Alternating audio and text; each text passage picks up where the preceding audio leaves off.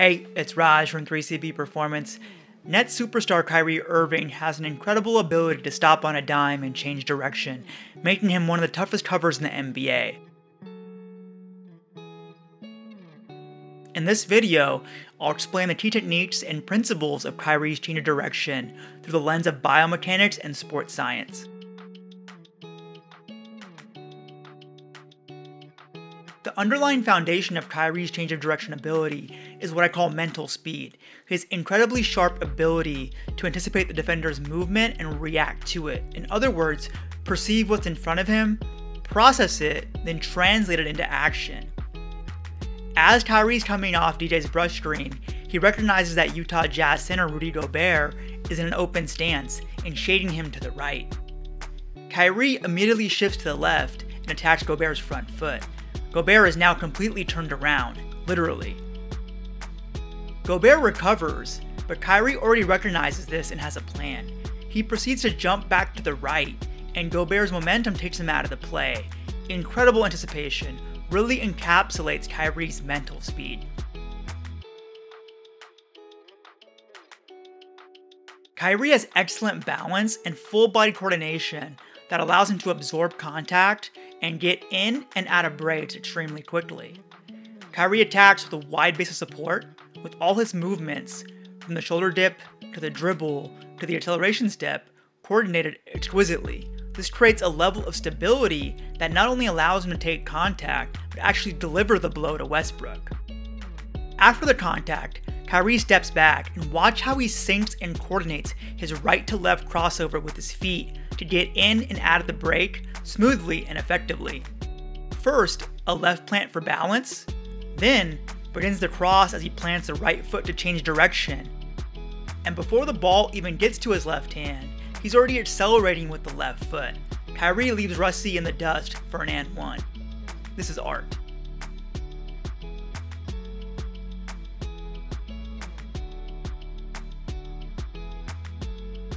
A quality that sticks out immediately with Kyrie's change of direction is how low to the ground he plays, which lowers his center of gravity or mass.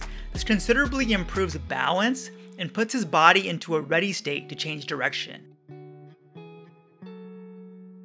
Kyrie dips the left shoulder, flexes his trunk, and drops the hips to lower his center of gravity immediately prior to his crossover. He maintains that height to quickly change direction during a secondary crossover. This really shows how low Kyrie is. His shoulder level is at Crowder's waist as he drives into the lane.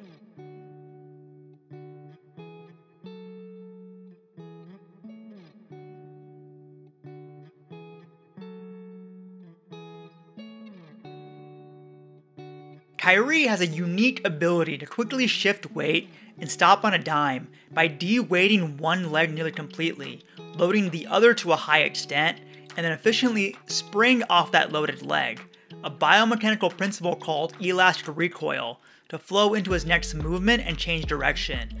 Those two components are exemplified in this clip versus one of Kyrie's toughest opponents, Avery Bradley. Right here, nearly all of Kyrie's weight is on his right leg in a very low extended lunge, with the left lower leg nearly parallel to the ground. Colloquially, you may hear trainers call this quote shin height. External rotation, rotated outwards, with only the medial inner part of his forefoot, front foot on the ground.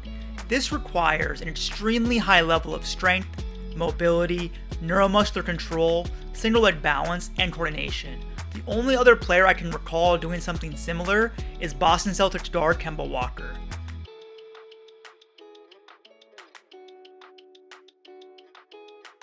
Additionally, the high load and position of the right leg and hips loads key muscles. By tensioning them, eccentric contraction like a stretched out rubber band.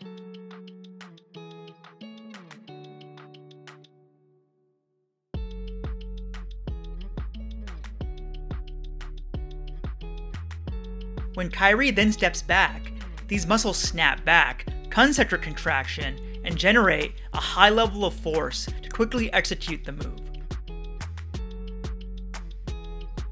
You see the same fundamental process on this crossover, with the same part of the left foot being his only contact point with nearly all his weight shifted to the right. You may have also noticed this in the previous clip against Crowder. Followed by the powerful change of direction. Beautiful.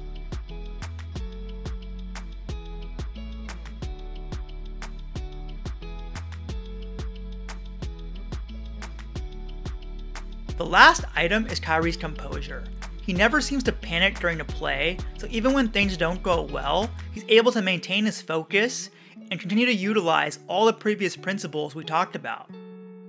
Brogdon played this extremely well, cutting off Kyrie's initial drive, the pullback, and then secondary drive.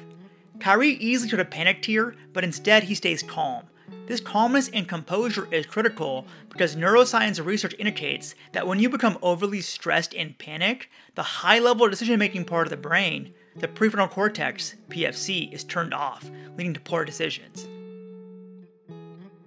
In this case, Kyrie makes an excellent decision and finds the opening with a precise reverse spin.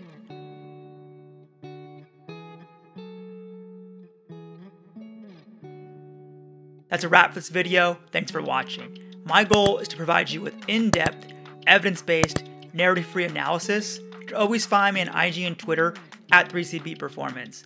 Please take care of yourselves and follow the appropriate precautions to limit your exposure to and spread of COVID-19. Make sure to sub to the channel and follow along on all social media for latest updates. 3CB out.